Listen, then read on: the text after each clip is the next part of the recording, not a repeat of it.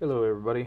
I figured it was a minute since I did a book review, and I had talked about this book prior, so I figured this would be a good one to start with for this week.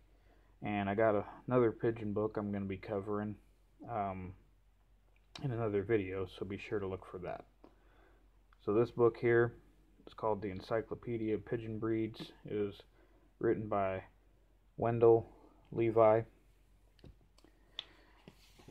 originally in 1965 and the copy I have was a republish in 1996 and just a little bit here about the author um, or pigeons in general. The preface was by W.F. Hollander who has also written some books and he was a professor of genetics at the Iowa State University in Ames this book, as you can see, is not light reading.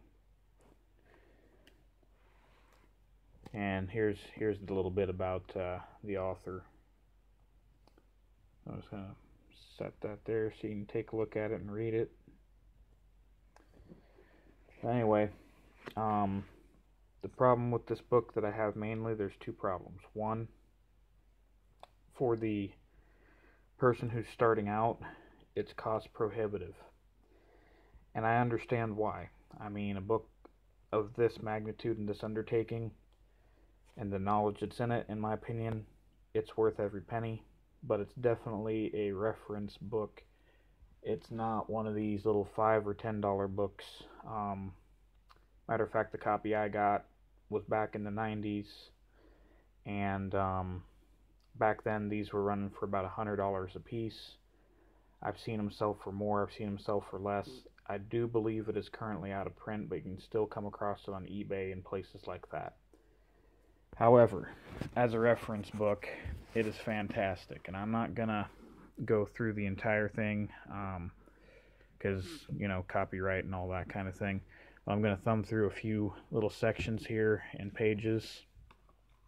Uh, contents, he goes into kind of man's history with the birds, what pigeons need. He covers feed, how to build a pigeon loft, how to build the equipment for it, uh, ailments, genetics, etc., etc. And then he gets into the individual breeds. So, unfortunately, I lent it out and it got kind of messed up. Let's see here. So in here, it's got some information regarding um, old mineral mixes and that kind of thing. There's a lot of things nowadays that we can get already pre-made.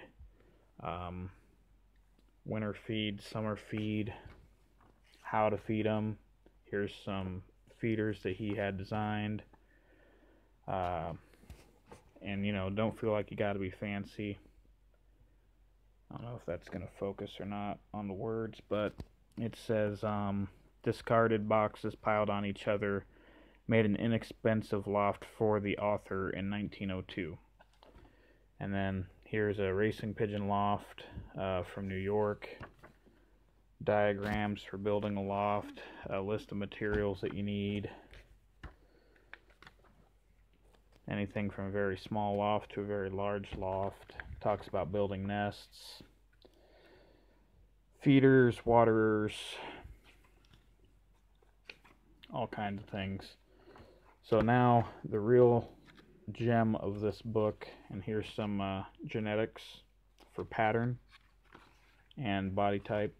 But the real gem of this book and why everybody covets this book is this was as the title says, the encyclopedia. I mean, the number of breeds represented in this book in color is insane. And that brings me to my other complaint about this book, however, which is in this reprint, the choices of ink and paper combination um, I don't feel were made um, with long term archive quality uh, materials in mind. This book I had it a few years, and when I was growing up, my bedroom was next to the furnace, and the heat caused the pigments in some of these images to start to discolor and bleed, and even stain the page next to it. So you'll see I've got these pieces of parchment paper in between pages um, to keep it from getting worse. You can see on this pigeon here, perhaps, uh, she's turning blue. It's a white bird, but she's turning blue. And that's to slow it down and to keep it from staining the other page. This one's got a black smudge here as a result.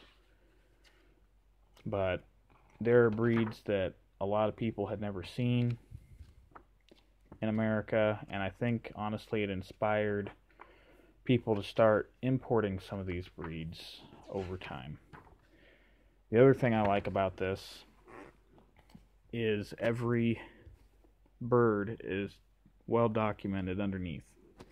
It tells you the breed, the color, the leg band, who owned it, who took the photo, etc. And there's birds from all over the world in here. Uh, case in point, New Jersey, Switzerland, I'm just going to cut across through here. Uh, New Zealand, California, East Germany, Switzerland, Scotland, Taiwan, North Carolina, Texas, Wyoming, Baghdad, Madrid,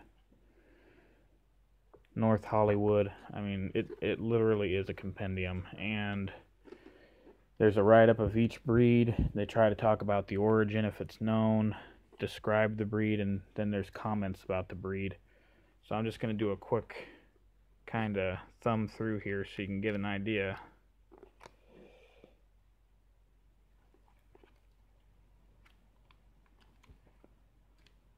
I mean, this book is practically so full of photographs